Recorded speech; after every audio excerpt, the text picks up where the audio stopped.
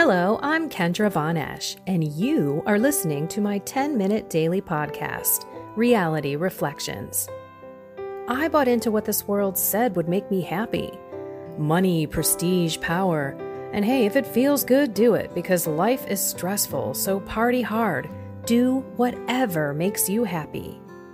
But that didn't quite work out because I felt even more insecure, full of fear shame, and anxiety, and never, ever good enough. Then God found me and flipped my reality upside down and transformed my life. And I want this for everyone. So I left my executive career to help others find true acceptance, supernatural peace, joy, and love that only comes from a relationship with God. Here is my reality reflection for today. Okay. Lots and l- lots and lots of you people are coming to me. That is the worst English accent I think I've done in a long time. Wow. I should do the whole I should do this whole thing in an English accent, which I cannot do. I sound like some American trying to be English? Because if I have an English accent, maybe you will actually think I'm smarter than I am. Now I threw a little bit of Southern in there. this is not my skill. I am not one of those people who can, what do you say, imitate other people, do impressions. That is not me but I can help you get closer to God. I know that. And that's what we're going to talk about today. A lot of you have reached out to me often, frequently, recently to ask again can you dive into mental prayer? And I'm telling you, I have this morning stuff going on. I still don't have my phone. Um, I'm sorry. I hope that this is an okay recording for you. Nobody's more sorry than me. I've got a bird chirping outside my window. I've got my coffee in my hands and I'm going to take a sip of. Excuse me, clearing my throat. Mm. And yes, I've done this like 10 times before I hit record. So I'm just struggling here. Okay. So we're going to talk about mental prayer and how do you do it? What is it that you're listening for? And what's the purpose of mental prayer? And then at the end, because I'm just going to explain it and I'm going to kind of interject and, and walk through all of kind of the phases of mental prayer. But then at the end, I will do a guided meditation so that you can come back to this particular podcast with me and my stuffy nose and phlegmy voice.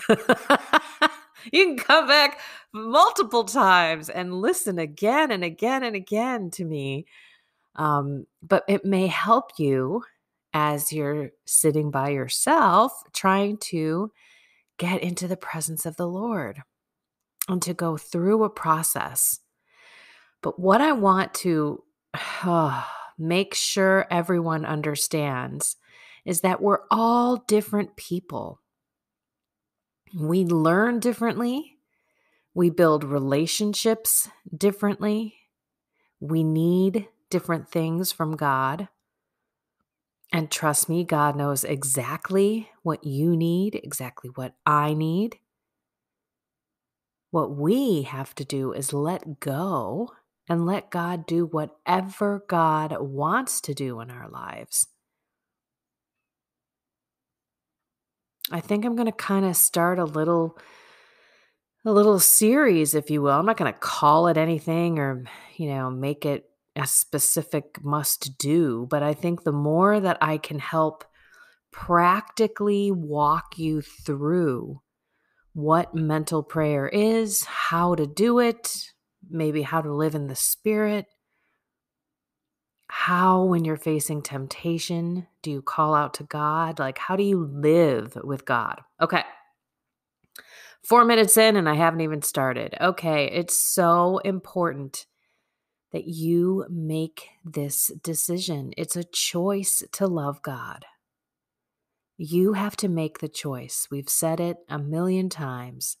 Our currency with the Lord is our time and our heart. They go together. Because we can give Him all the time in the world. And if we're just sitting there looking at the clock, waiting for it to be over, that's not what God's looking for. God's wanting our heart. He wants us to thirst for Him. Go back into the Catechism, section four, prayer. Read it. Read it often. It's the three different parts of prayer that it's a gift from God and we must humbly approach Him. It's communion with the Lord and it's a covenant. Okay, those last two might be flipped in the Catechism. Sorry for the for the snotty nose thing. Oh, and now the coffee maker's gurgling. Hmm.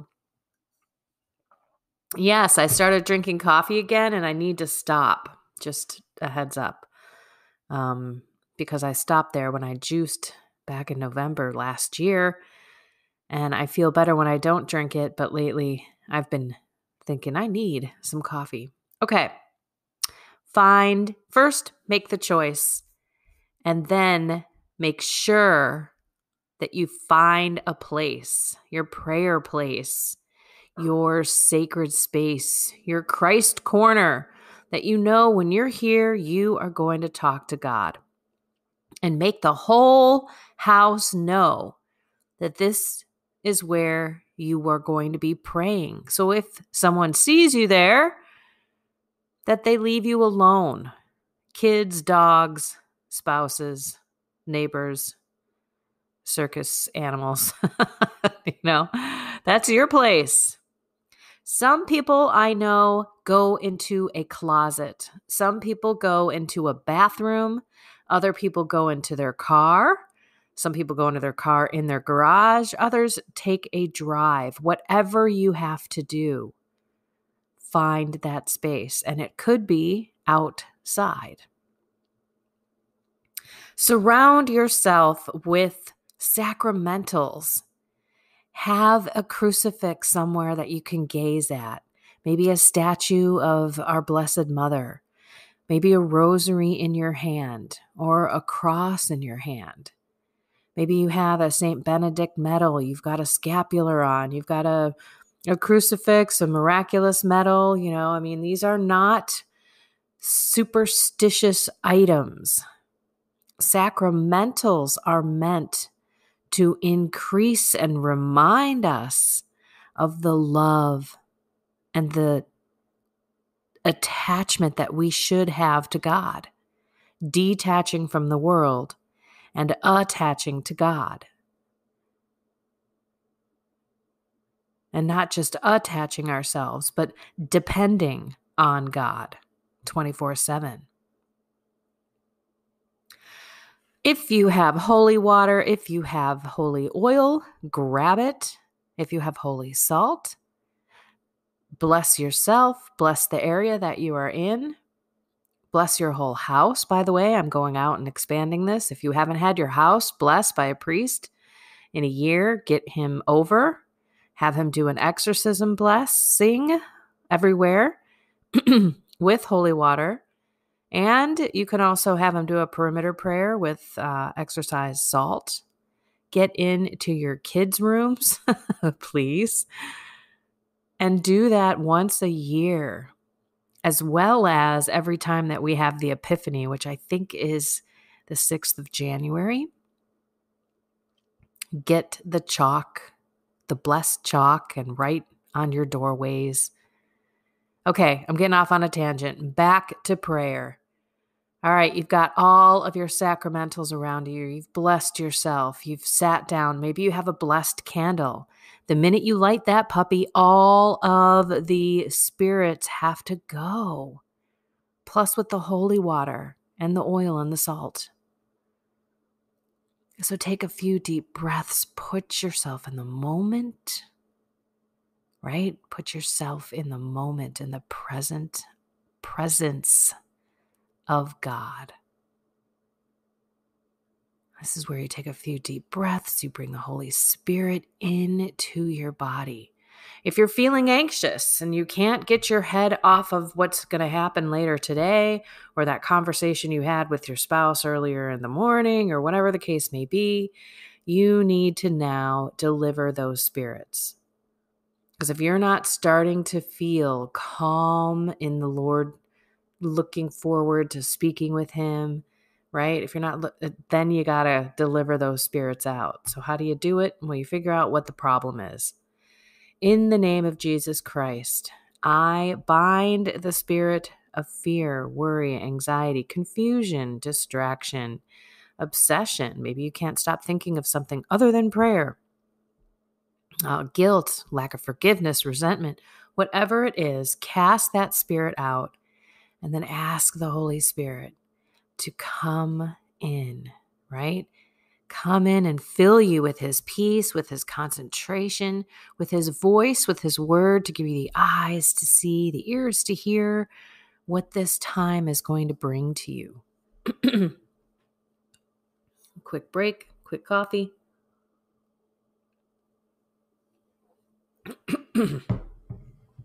okay. Then you got to start picturing the Lord. And this is where the individual individuality comes into play. I am I've got a pretty creative imagination, but I'm not one that truly uh, embraces Lectio, Lectio Divina in terms of me being in the scene, smelling the hot desert air, feeling the sand and the, you know, the dirt stick on my sweat. I mean, like this isn't kind of my way of praying. But that may be the way that your mind works. Your mind may be like, this is awesome. I can't believe that I'm sitting in the Middle East with Jesus. That is awesome if that's the way that you connect to the word, right? Because I always do my my meditation on the word of God and I strongly recommend everybody does and I'll I'll share why. But this is where this becomes you. You're going to find a lot of different ways for mental prayer out there by a lot of different saints and uh, you know people that have me others you know but here's the deal you've you've got to make it your own it's got to be your own relationship with god so you may pull one or two things from this method, if you will, and then one or two things from that method. And then it becomes no longer a method. It becomes a relationship with you and God. And that's, and then that should grow, that should develop, that should change, just like any relationship. Just be aware that there's no wrong way to do this. Just do it. And even if you are fighting distractions the whole time, it's okay. St. Francis de Sales says, look, even if that's all you do is fight distractions, God says your meditation was a good meditation. You good and faithful servant. Pat your stinking self on the back and go on with your day. Yeah, maybe it wasn't the best for you, but God is so stinking happy because guess what? You could have just walked away and said, I'm not feeling it, I don't want to do it, or grabbed your phone and went on with a complete distraction, ignoring prayer altogether. But when you fight through it, God is happy. And we all need to decide to pray. Remember, it's choosing to love love God. And you can you cannot fight sin if you do not pray. Mental prayer being specifically that. That was St. Alphonsus Liguori. If you do not practice mental prayer every day, you will not be able to avoid venial sin, let alone mortal sin, right? We talked about this yesterday. If you had, if you didn't hear the podcast yesterday, go back because it's a really good one. Have you ever been asked by a priest if you pray? Okay, back to meditative prayer. So you've got all your sacramentals, you've set the stage, you're feeling cozy, you've got your cup of coffee, maybe it's hot lemon water, maybe it's, I don't know, milk, whatever. You're sitting down, you're now putting yourself in the presence of God. Whatever that means. Do you stare at a crucifix?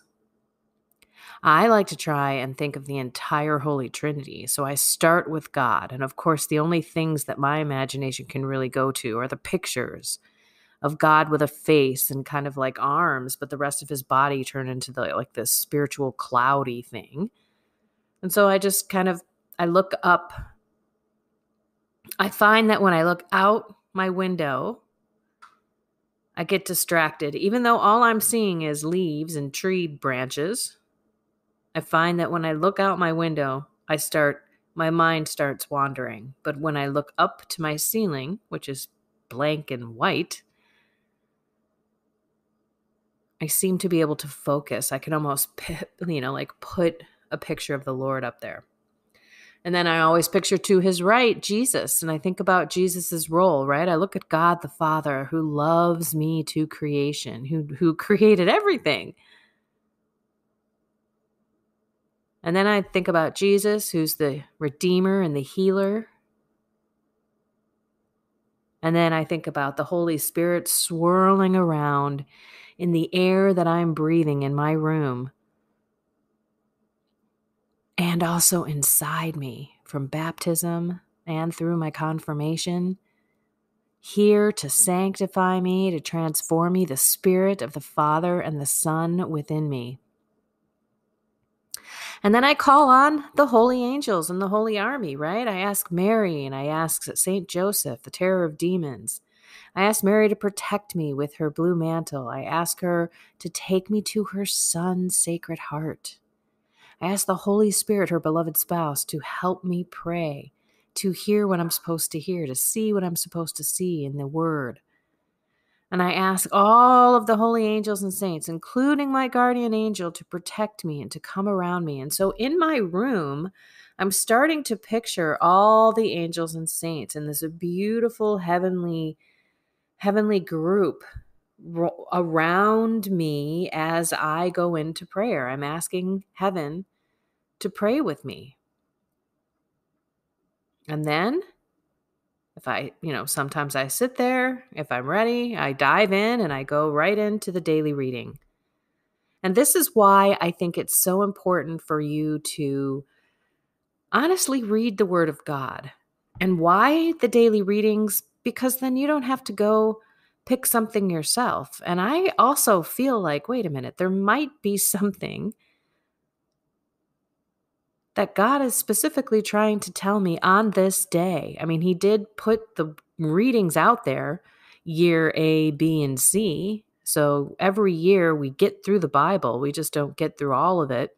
And there's different, that's why version A, version B, version C has different readings that we read. But in the end, we should be reading the Bible every single day. And so why not have the daily readings and the season that we're in speak to us? Rather than us reading Genesis when we're in the middle of, you know, Advent. You know, I mean, although th- those could kind of go together, but so then you read, and sometimes you're going to read five times. Sometimes you'll read the you'll read the reading and you'll have to go back and be like, I just read that whole I don't even know what the words were. That happens to me a lot when they get into the names of people in the Old Testament and I'm like, okay, who who created these names? These are ridiculous. And and as we ask the as we go to read, we ask the Holy Spirit to give us the eyes to see, ears to hear, to put on our heart so something will come out. A word, a phrase, And then, if it does, or if it doesn't, you'll something, just sit, close your eyes, think about what you've read, go back, read it again. You may need to take a couple of minutes and just let it sit with you.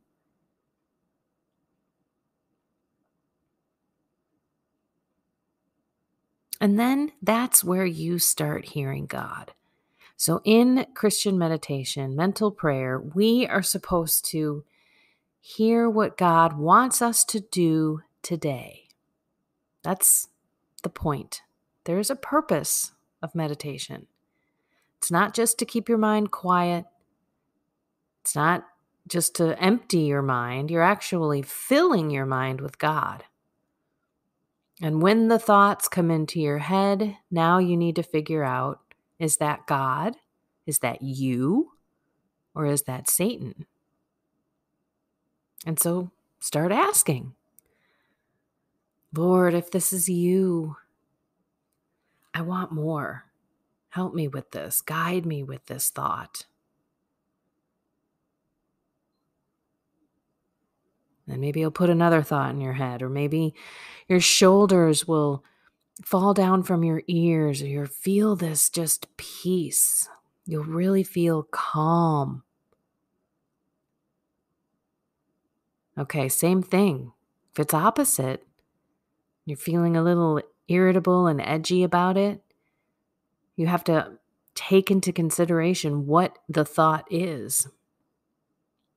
Because if the thought is about you committing a mortal sin and you're feeling poked and pricked and you know your mind is just being kind of beaten up and you know it's not right your body feels sick sick to even think about it but you're still considering it that's god god isn't always peace especially if you're still committing mortal sin, because in that case, you may have, well, if I just do this, I'll feel better.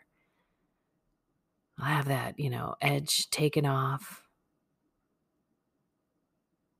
And Satan will give you that peace. That's one of the St. Ignatius rules of discernment of spirits. Rule number one if you're still committing mortal sin, know that when you decide to commit that sin, you're going to have peace. It's going to feel good. You're going to want to do it. And that's not God. that's not the peace that you would get from God who's leading you toward a decision. As a matter of fact, in that case, God's the one that's poking and pricking you and making you feel uncomfortable and guilty before you do it.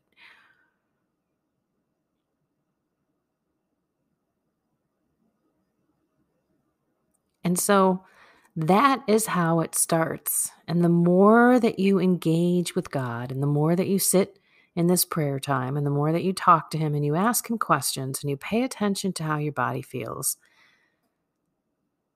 you can then leave that prayer time. Hopefully, you'll get something out of it.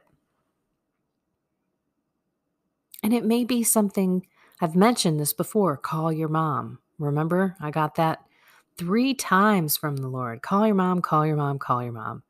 And myself, I didn't get it, didn't want to call my mom. I love my mom, but she's a talker, just like me, right? We get on the phone, holy cow, an hour's gone by. I didn't want to talk to her. I was like, I don't have time to talk to my mom, but I did. And that's living in the spirit. That's allowing the spirit to prompt you and then doing it. I got off that phone call with her in 10 minutes. I felt like night and day. She talked me right off the ledge. It was a complete godsend. And I didn't have any because I don't know God's ways, but I did God's will. Didn't make sense to me at the time. But when it was three times that he told me to call my mom, I called her. So it might be something crazy like that that comes in in your prayer that has nothing to do with what you're actually reading on the page. This is when the Bible becomes, you know, the more you read the Bible, the more the Bible reads you. And this is where the word applies in our lives right here, right now, in the 2021 year in the madness of what's going on, this 2,000 year old book, or maybe it's obviously it's not 2,000 years old, it's a little newer than that, but this book is speaking to us today. All right. That's what you're trying to get. What am I supposed to do? And then lastly, you conclude. You repeat again, Lord, this is what I'm hearing. Is this what you want me to do? And you listen and you pay attention, and then you get this feeling because God will make himself known. And it's so awesome when you're sitting there and he does it. Right? He gives you this beautiful feeling of calmness and peace. And you're like, okay, that was totally you, God. I get it. Then we end with a conclusion and we pray and we ask the Lord, please, please, please, please give me the grace to do this. Because sometimes it may not be an easy one. Maybe He's asking you to apologize to someone or to forgive someone. Maybe He's asking you to stop with your addiction. These are not easy things, so we need to ask for the grace to do what He's asked us to do. Okay, here's the thing I can only record for 30 minutes max. So I'm not going to walk you through this, but I'm going to recap it. I'm at 25 minutes and I, I can't walk you through a mental thing in that short of time, but I'm going to recap it. So grab your pen. Preparation. Choose the same time, same place for prayer. Make it a habit. Bring sacramentals around holy water, holy oil, salt, crucifixes, blessed, statues of Mary, the Bible. Wear them. Scapulars, St. Benedict medals around your wrists, around your neck, miraculous medal, crucifix. And then breathe in the Holy Spirit. And in this prayer place that you have chosen, picture the Holy Trinity Speak to each one of them, and then call on the Holy Army, Mary and St. Joseph, your guardian angel, your patron saints, all the holy angels and saints. Call on mom and grandpa and dad, whoever's up there. I didn't mention the act of contrition. But as I put myself in the presence of the Lord, I do apologize for the sins that I've committed. I don't do the one that is memorized. I talk from my heart and I use examples. As if I am in an outside, uncontained confession with Him. And that's where I say, Now, Lord, I give myself to you. I empty myself to you. I surrender myself to you today. And that's that one additional step of every prayer day is okay, I'm humble because I don't know how to pray as I ought, and I need you to open my eyes. And I am also offering my entire self, my mind, body, soul, spirit, all my thoughts, all my words, all my deeds to you, God. You live through me today. And tell me how you want me to do that by diving into the word. And then that's where you meditate. Once you find that theme, you find that verse, you find that word, you sit with it and you allow God to put thoughts in your mind. You ask God if it's Him. You ask what He wants you to do with that. It's a con- constant question session. God, is this you? Do you want me to do this, Lord? Do you not want me to do this? I mean, you got to ask them both ways so that you got to pay attention. Don't ask them too fast because you do got to you got to pay attention to your body. You've got to pay attention to what he's sending to you. Maybe it's even a bird that comes to your windowsill while you're asking that question. Those are things that some people may not even pay attention to, but it may happen. And then you come to the conclusion and you pray for the grace to do it. And then you pray for the Lord to send you messages clearly all day, your guardian angel to protect you, lead you, guide you, rule you. And you will find that your day will be filled with God differently. Okay, I know it's a long one, I know I rattled off on a couple of tangents, and some of you have heard this and some of you have not. But all I know is I can't repeat it enough. And it takes 17 times for someone to be able to take a concept, learn it, and be able to repeat it to somebody else. And that's a lot of times of repetition. So get used to it, kids. because I so desperately want this for you. I want you to know and understand what mental prayer is and to practice it, to live it, to love it. And I have 30 seconds left, so I am going to stop by saying seek some time to practice just what we did 15 minutes at a minimum. Minimum. Go for 30. All righty, everyone. I love you all. Have a blessed and inspired day.